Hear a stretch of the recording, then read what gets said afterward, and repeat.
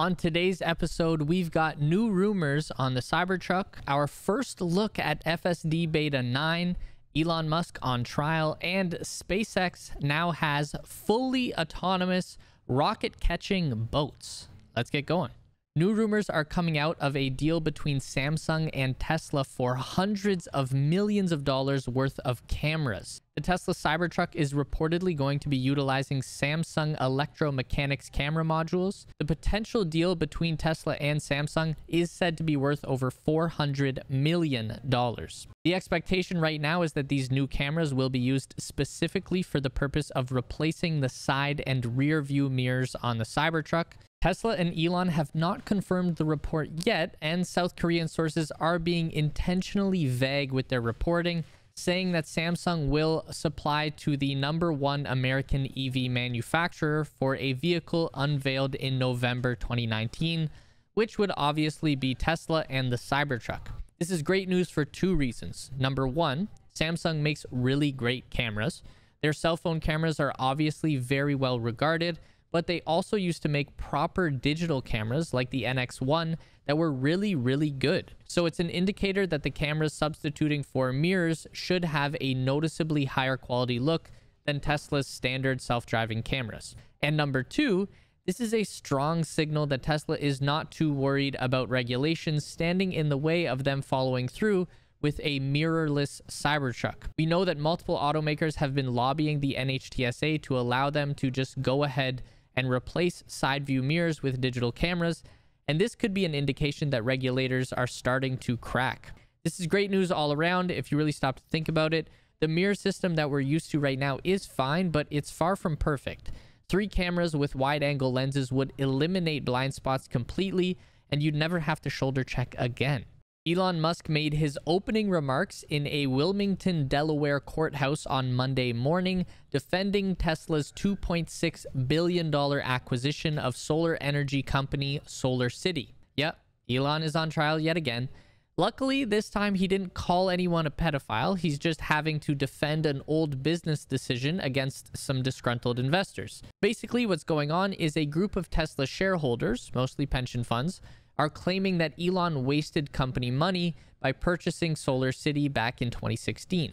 Their claim is that it was a bad deal that Musk made only to serve himself and his family members, and they want Elon to give back the $2.6 billion that Tesla spent on the merger. I can see where they are coming from with their angle. Elon did own 22% of all shares in Solar City at the time, about the exact same amount that he owned in Tesla, and Solar City did happen to be founded by two of Elon's cousins that would lead people to be suspicious. The biggest rebuttal to any of these claims would be the simple fact that over 80% of Tesla shareholders and over 80% of Solar City shareholders all voted in favor of the acquisition deal. It's not like Elon went rogue and just started throwing money away. He presented his case to the investors at the time, and they voted overwhelmingly in support of his idea. Elon's idea with the merger being that to accomplish his goal of pivoting Tesla towards a sustainable energy business model, they would need a product that generated green electricity. Tesla obviously already had the battery storage side of things locked down, but they needed to integrate a source of electricity to make the system complete.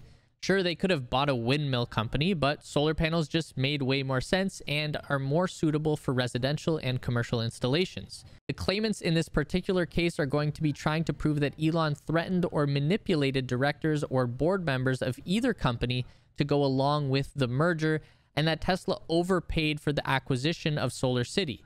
The accusations are that Solar City was nearly a worthless company that was on the verge of bankruptcy and could not have been worth the 2.6 billion that was paid by Tesla. As the star witness, Elon spent the whole day on Monday sparring with the shareholder's attorney, who Elon called a bad human being during court proceedings. And that will probably continue through Tuesday as well. Hopefully after that, Elon can get back to work, but the trial will continue for another couple of weeks. The final ruling from the judge isn't expected to come down anytime soon. Expect a few months of deliberation before we know what happens. By the way, folks, we're doing our very first prize giveaway here at the Tesla Space for the newsletter subscribers only. We've got a Tesla tequila bottle up for grabs. Details on how to enter at the end of the video. After all of the drama with timelines and delays, Tesla delivered the newest release of their full self-driving beta software last weekend. This is a much anticipated release with some very key changes for the autonomous driving system. Chief among them being the transition to Tesla Vision, for all of the car's sensor information. That means no radar information is being used to judge speed and distance, just the camera-based neural net. Tesla didn't include a whole lot of details in their release notes, but they did make sure to reiterate to testers that it is still the human's responsibility to keep themselves and others safe on the road. Tesla wrote this about their FSD software. Quote, it may do the wrong thing at the worst time, so you must always keep your hands on the wheel and pay extra attention on the road. Do not become complacent, end quote. The on-screen visualization has also been updated to show drivers just how their car is seeing the world. Elon calls this the mind's eye of the neural network. We're getting much more lifelike renderings of vehicles, pedestrians, and road markings on the new display, the car can even recognize animals like dogs walking on the road, and we can see that the car is even recognizing when other vehicles' brake lights come on, giving us the indication that Tesla Vision is using cues like this to judge the intentions of other drivers on the road. In one of the user videos posted so far, we can see that even at night, the car isn't registering flashing lights from emergency vehicles, they just don't come up on the visualization. But Elon says that this will be coming soon.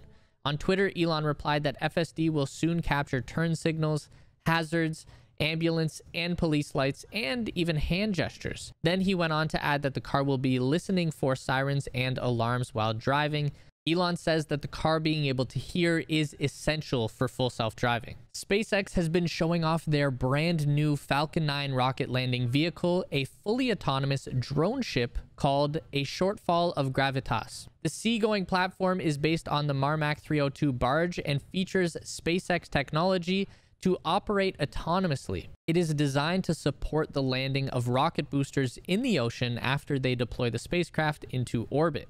That's one big feature that makes the new ship unique from the existing drone barges. Of course, I still love you and just read the instructions. The new edition can navigate itself with full autonomy, meaning it does not require a tugboat to pull it out into position in the ocean, and once it catches the rocket, it can bring the payload home without assistance. The previous two ships can hold their spot in the water by themselves, but they can't travel to and from shore with full automation.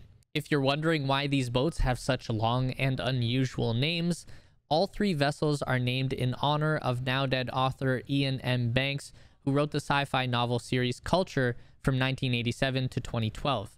In the fiction novels, the vehicles are sentient starships that feature artificial intelligence with a personality and are capable of selecting their own distinctive name. Elon clearly loved these books and has often recommended people to read them. In other SpaceX news, we are seeing new activity on the Super Heavy booster prototype at Starbase, Texas. It looks like SpaceX crews have begun installing Raptor engines into the giant booster structure. This could be a positive sign that SpaceX is moving quickly towards the first static fire test of the Super Heavy. This shows that the engineers must be extremely confident in their prototype build because the booster has yet to undergo the cryogenic proofing process, that's where they fill the tanks up with liquid nitrogen to mimic the pressure of spaceflight and see what will happen. Sometimes this test causes the whole vehicle to crumple like an aluminum can.